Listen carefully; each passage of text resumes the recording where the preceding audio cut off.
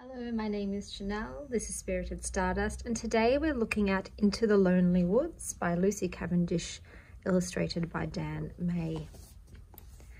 Venture into the lonely woods and find the greatest gift of all, your true self. Come to the lonely woods when you feel isolated, distanced from loved ones, or wish to embrace quiet, peaceful spaces within a noisy, hurried world. Here you are welcomed with comfort, inspiration, and compassionate guidance. You will come to know an enchanting, enriching solitude where you can heal, grow, and journey through your inner wildness in a beautiful encounter with your untamed, untrammeled self. So there's 45 cards and a 104 page guidebook. This is the guidebook. So um, it begins with an introduction to the woods. It talks all about being alone or lonely, solitude or isolation.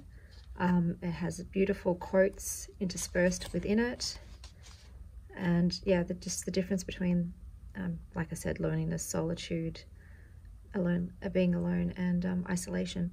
Uh, there's a lovely in-depth guide on how to like work with a new deck, how to bless your cards, how to care for them, how to shuffle, choosing spreads, journaling, clearing and cleansing.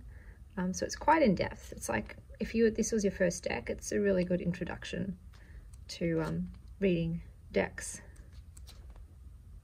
So these are just more spreads. And then a, a blessing.